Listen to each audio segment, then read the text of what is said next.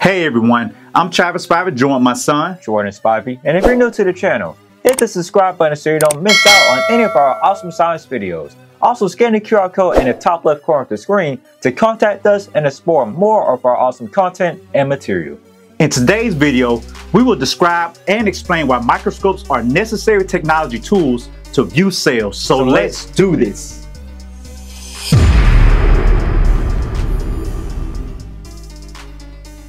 Our learning target for today is I can describe and explain why microscopes are necessary technology tools to view cells. Let's do a quick review of the basics of cells. A cell is the smallest unit of a living thing. A living thing like you is called an organism. Essentially, cells are the basic building blocks that make up all organisms. In multicellular organisms, Several cells of one particular kind interconnect with each other and perform shared functions to form tissues like muscle tissue, bone tissue, and nervous tissue. Several tissues combine to form an organ like your stomach, your heart, or your brain. And several organs make up an organ system such as the digestive system, circulatory system, or nervous system. And last, several systems function together to form an organism like an elephant, a cheetah, or a panda. There are many types of cells and all are grouped into one of two broad categories, prokaryotic and eukaryotic cells. Animal cells, plant cells, fungal cells, and protist cells are classified as eukaryotic cells, whereas bacteria and archaea cells are classified as prokaryotic cells. With all of this information on cells, you would think that they are easy to see, but actually it's quite the opposite. Almost all cells are too small to be seen with the naked eye. To give you a sense of how small the size of a cell is, you can fit approximately 250 red blood cells on the tip of a safety pin or sewing needle.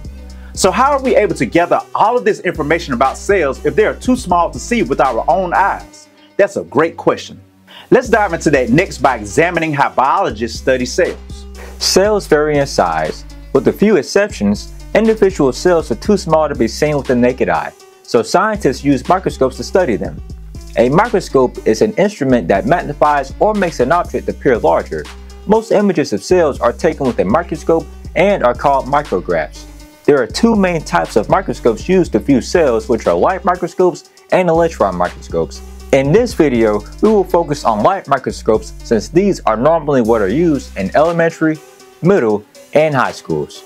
A compound light microscope gathers light from a small area where your specimen is on the stage and sends this light up through the objective lens. The objective lens magnifies the sample as do the eyepieces you are looking through. In order to focus or make the image clearer, the coarse focusing is used first in order to put the sample in the correct location to obtain a clear image. On light microscopes, moving the focusing knob will either move the stage up and down or move the head of the microscope up and down. On the biological microscope shown above, moving the coarse focus adjusts the height of the stage. On most high school microscopes, the focusing mechanism moves the height of the head of the microscope. Once the coarse focus knob has been used to put the sample in the correct location, next, the fine focus knob is used to fine-tune the focus and create a crisp and clear image. Light microscopes use a condenser above the light source in order to focus and direct the light up through the specimen in a small beam of light and into the eyepieces. The objective lenses can be rotated in order to change the magnification of the microscope. Most light microscopes utilize 10x eyepieces and this magnification is multiplied by the objective lens value to determine the microscope magnification. For example, when using the 4x objective lens, that's basically saying 4 times 10 equals 4x or 40 times the magnification of a normal lens.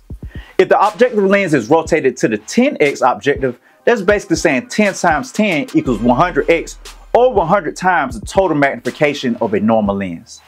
Light microscopes are able to magnify objects up to 1000x or 1000 times the normal magnification of a lens. This makes it easy for light microscopes to magnify cells and make them larger for us to see. Now let's review some of the images produced by light microscopes. Take a look at the following cell viewed under a light microscope. Let's look at some of the physical characteristics of this cell. It has green circles in the cell and the cells are kind of rectangular in shape. Now let's look at another type of cell under a light microscope. Notice that these cells have a dot in the middle, but the dot is not green. Also, these cells seem to be more round in shape. Let's take a look at one more type of cell. These cells have many rod-like structures. They also don't seem to have much separation from each other like the other two cells. Quick checks for understanding. Look at the first two cells. Which types of cells allow an organism to move more? Cell 1 or cell 2? Look at all three cells. Which cells do you think are plant cells, animal cells, or bacteria cells? Pause the video and take 3 minutes to write your responses and explain what clues you use to come up with your answers. You got this. In summary, plants and animals are made up of cells that are too small to be seen with the naked eye. Technological tools like microscopes allow us to view cells by magnifying their image so we can see all of their fascinating parts.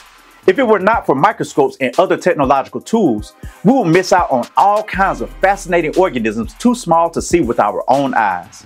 With that being said, let's give a special shout out to Hans and Zacharias Janssen, Robert Hooke, Anton van Leeuwenhoek, Joseph Jackson Lister, and several other scientists who were critical in the development of the microscope that you and I have the wonderful opportunity to view life at its smallest level. We appreciate every last one of you for your many efforts and contributions in bringing science to life. And that's our video for today. Now it's session off to see how proficient you are with describing and explaining why microscopes are necessary technology tools to view cells by taking our video quiz. Use your electronic device to scan the QR code at the top right of the screen or you can click the link in the description box below the video to take the quiz. Remember, 80% or higher for proficiency, record your results on your proficiency sheet, and if you don't get it the first time, you better keep going because it's not over until you win. Don't forget to hit that subscribe button, click that bell icon, and also scan this QR code to contact us and explore more of our awesome content and material. Peace and have a positive, productive day.